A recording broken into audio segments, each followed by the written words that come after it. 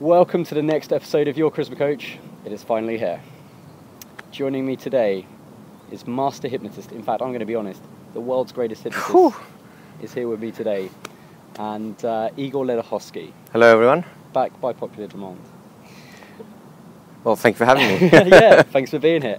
So today, Igor's kindly uh, going to share some of his insights in being able to read people as you're talking to them, because it's always good to know or get an idea. I think whether when you're having a conversation with somebody, is it going well? Is it going bad? And it's good to be able to pick up the clues through Absolutely. the facial cues if you are. and, and actually, is, is the crucial thing. It's not just facial cues, by the way. It's the whole body language is important. And I mean, the key really is like anything. If you're just talking at someone, then you have no idea what, what's going on. You may as well just be reading a script. You know, in hypnosis, a lot of people just read scripts and ignore the person. Uh, and those are awful conversations. You probably had them yourself when someone talks at you and talks at you and talks at you, and inside you find yourself, you know, trying to do a dig a little hole in your mind and creep into it because the conversation has no fun, no spark, no Right. energy. And to avoid being that guy or that girl, really you have to pay attention to the other person. And if you hit something that is either unpleasant or dull for the person, then you have to be able to read their body language and find out, well, am I on the right path or am I not on the right path, right? Right now, Marcus, for example, is giving us some wonderful signals of interest. He's actually liking it. Oh my goodness. Uh, how can you tell? Well, he's making a lot of eye contact, which is usually a, a good sign. No, not everyone will make eye contact. Some people are very shy, so they'll look away, but they'll look away so they can listen. They'll tend to turn their ear towards you. Uh, other thing that he's doing is he's kind of like nodding away to himself. Sometimes his eyes sort of drift off and he's nodding away, which tells me he's thinking about the idea and he's going to know, yeah, I've, I've, I've had an experience like that. That's the kind of experience that's going on inside right now, right? Right. Now, of course, I made you very self-conscious about this whole thing. Uh, and of course, exactly. And, and that's one of the, the, the, the downsides. Once you know this initially, you'll get a little self-conscious because you know you'll catch yourself doing it. That, that passes. Don't pay much too much attention to that. It's just, you know, we're making something unconscious conscious, Mm. which creates a little bit of awkwardness. But then we let it back to unconsciousness again, then it becomes smooth and natural and easy, right? So we're going to go almost through a process when we're looking for things like this, where it's going to feel a little bit second nature to begin with. Yeah, well, yeah, it's gonna. It, it's, actually second nature to start with. Then it's going to become awkward because you're looking for it specifically. and You're going like, "Ooh, did I just twitch? What's what's going on here?" Or did I just look at him too much? I don't know, right? Right. Um, but once you get to that phase, because you're overanalyzing essentially, uh, I call this the law of reverse effect. When the conscious mind tries to do something that the unconscious mind was designed to do, it kind of gets in the way. Hmm. Think of it like a five year old trying to play football with dad, and dad's about to score a goal, and the five year old wants to help and kick the ball for him. He's just going to get in the way, which is fine for the fun of the game, but not so good if you want to actually score the goal, right? So the conscious mind is a bit like that five year old who's going to get in the way all the time the, the, the best way you work together is when the five year old says, Daddy, score a goal. And then the unconscious mind goes, All right, son, here we go. And boots the ball nice and neatly into the goal. That's what we want to get to when we get these skills. So you'll go through a little hump where you get self conscious, just let it go, and suddenly you'll enjoy the conversation so much more. Fantastic. So, I know when I'm talking to people, I'm usually very good subconsciously of picking up what they're, how they're reacting, and Right. what I'm feeling. I usually Right. my gut instinct there. That's an excellent way of doing it. You see, that's why we have these things called gut instinct. I don't even know this, but your hollow organs, which are your lungs, your heart, and your intestines, have a whole bunch of nerve fibers around them that some people call a secondary brain. And they process information a little differently, and they send it up your, through your spinal column through a little um, a piece of your spinal column called lamina 1.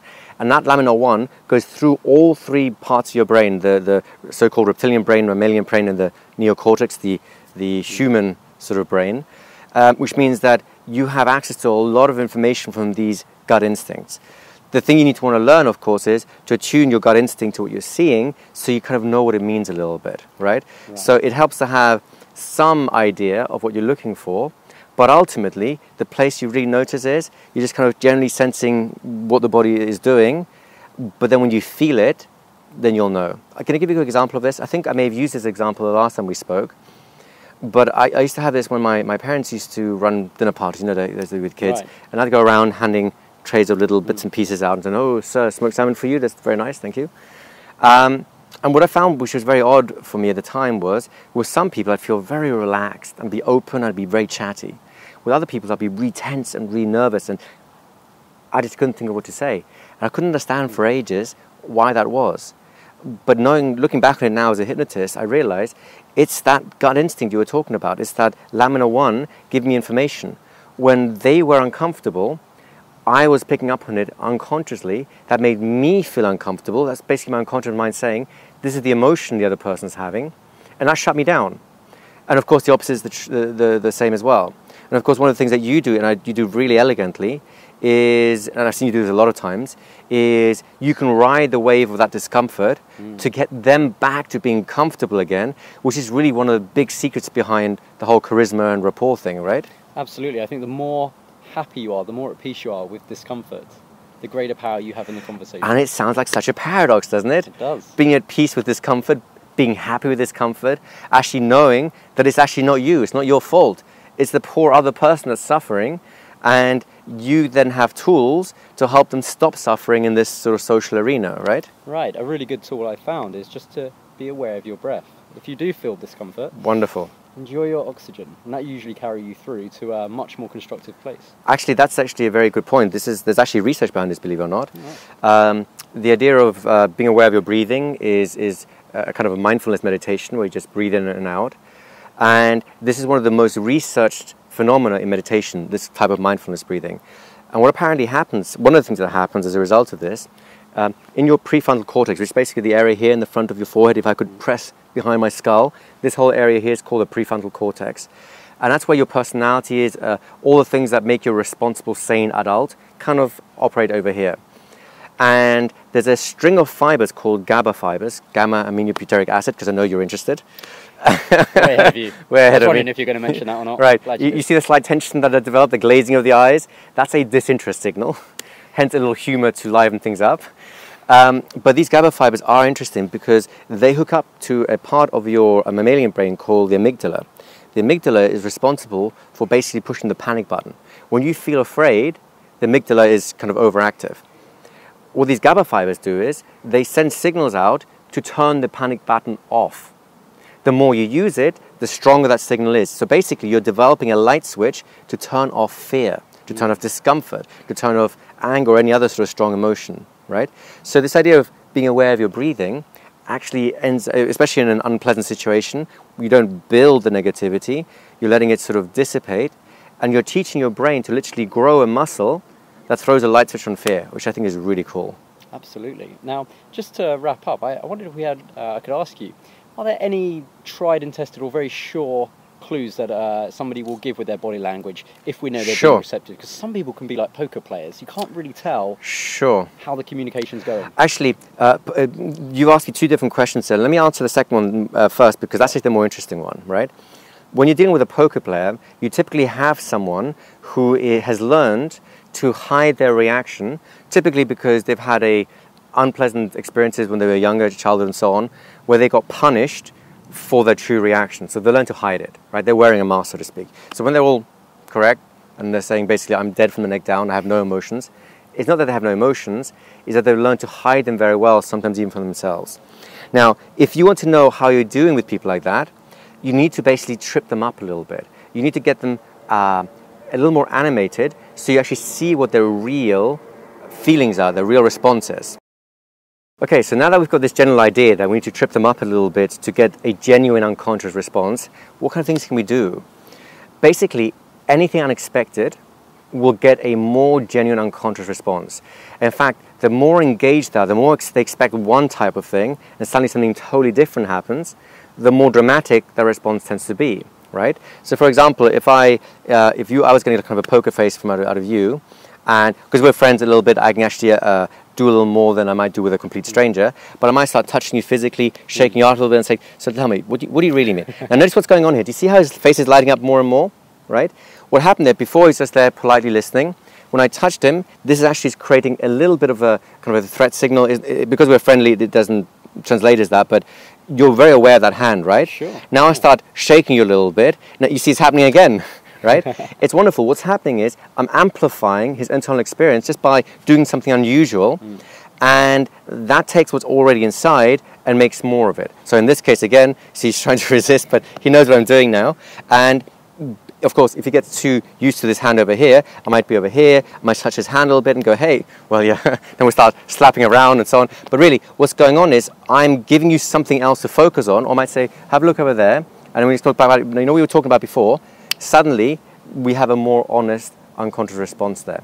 Now, of course, there are millions of techniques that you could do to distract their attention so that when they refocus on what you're talking about, you get a split second where the mask slips and you actually mm. see what's going on. And then, of course, the mask returns again very nicely like that.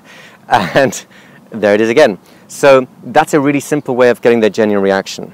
Uh, another way you can do it is, and this is one of my favorite way of doing this, is I call this goading, right? Basically, it's teasing, but with a in it with a friendly air. It's not like, oh, you're ugly, haha, right?